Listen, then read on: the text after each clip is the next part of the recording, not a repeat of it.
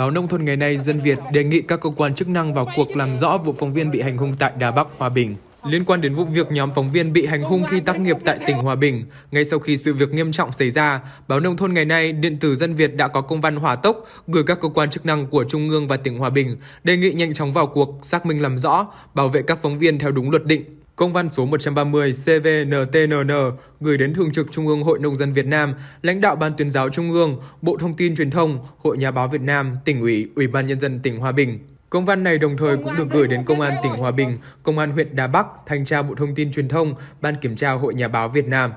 Công văn số 130 có nêu rõ, đây là vụ việc vi phạm pháp luật nghiêm trọng, vi phạm luật báo chí, điều 134, Bộ luật hình sự 2015 sửa đổi 2017 với tội danh cố ý gây thương tích. Để thượng tôn pháp luật, bảo đảm an toàn cho các phóng viên khi tác nghiệp, bằng công văn trên, Ban biên tập báo Nông thôn ngày nay, báo điện tử Dân Việt đề nghị quý cơ quan chỉ đạo điều tra, làm rõ vụ việc và xử lý nghiêm trước pháp luật các đối tượng đã hành hung, xâm hại đến thân thể phóng viên, cản trở quá trình tác nghiệp hợp pháp của nhóm phóng viên, cũng như phải bồi thường thiệt hại về trang thiết bị chuyên dụng của báo Nông thôn ngày nay, báo điện tử Dân Việt.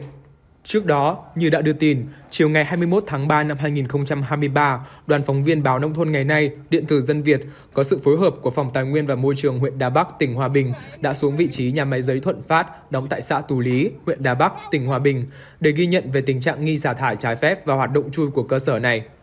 Ngay trong lúc đang tác nghiệp, tại khu vực bể xử lý chất thải của nhà máy, ba đối tượng tự xưng là giám đốc và bảo vệ của nhà máy đã lao vào, kéo đẩy hung hãn, cản trở không cho nhóm phóng viên quay phim tác nghiệp Thậm chí, đối tượng tự xưng là giám đốc nhà máy đã dùng những lời lẽ tục tĩu, chửi bới, đe dọa cả nhóm phóng viên và cán bộ phòng tài nguyên môi trường huyện.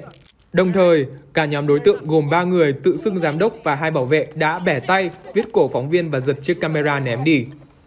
Sau những hành động trên, nhóm đối tượng này còn chỉ đạo đưa một chiếc xe tải, chặn cổng ra vào nhà máy, không cho nhóm phóng viên và hai cán bộ phòng tài nguyên môi trường ra ngoài, đồng thời liên tục tung ra những lời hăm dọa, chửi bới, xúc phạm nhóm phóng viên. Mặc dù ngay sau đó, nhóm phóng viên đã liên lạc với lực lượng công an xã, công an huyện, nhưng nhóm đối tượng vẫn hết sức hung hãn, đe dọa, đồng thời thách thức cả nhóm phóng viên và cơ quan chức năng. Đây là sự việc trắng trợn, vi phạm nghiêm trọng luật báo chí 2016, đồng thời có dấu hiệu vi phạm luật hình sự, tội cố ý gây thương tích, điều 134 Bộ luật hình sự 2015 sửa đổi 2017.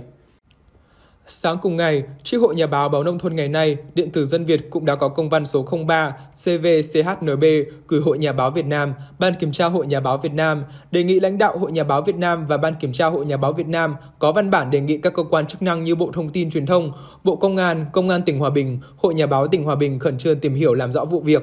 làm rõ nhóm đối tượng đã có hành vi hành hung nhóm phóng viên báo nông thôn ngày nay, báo điện tử Dân Việt cũng như cố tình hủy hoại tài sản của nhóm phóng viên, máy ảnh để bảo vệ quyền và lợi ích hợp pháp của các phóng viên, hội viên. Hội Nhà báo Việt Nam đã tiếp nhận công văn của tri hội nhà báo báo nông thôn ngày nay, điện tử Dân Việt và đang tiến hành các bước tiếp theo.